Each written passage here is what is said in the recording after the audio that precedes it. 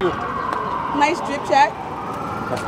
no, no, I'm, going, I'm going to rehearsals. All right, so really fast. So tell us about the new movie. You're at Tribeca. Um, shout out to my brother Drake. Shout out to Puff. Shout out to everybody that played a part.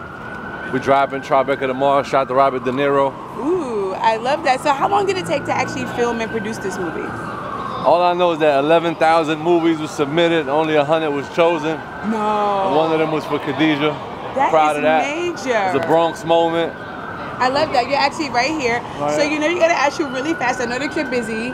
Um, I can't film inside, but Yeah. um, really fast. So um, I know you got a movie, you got other stuff going on. Probably not even sure what's going on with this, Yeah. but I'm not sure if you saw that, you know, YK Osiris, a younger rapper in the Yeah. game, kissed Sukihana in the mouth. You know, he didn't ask her, and everyone's talking about it. Now you've been in the game for a long time. As an OG, any advice to YK in this? Uh, you I know, haven't. Oh, I haven't been on the um, internet. I, No I, way. I, So you I didn't even- see it? No, I ain't seen nothing. That is crazy. Yeah, but when you know. get a chance, look it up. It's insane. I don't have it here for you to see, but Yeah. he kissed her in the mouth. So a lot of people are saying women in hip hop still have a long way to go Yeah. as far as respect is, you know. Yeah, I love her music, but I, I ain't see it. I ain't been. I ain't been on the internet. I just been focused on. Awesome. So after Tribeca, where can people check the movie out? Well, after Tribeca, I'm gonna make the big announcement.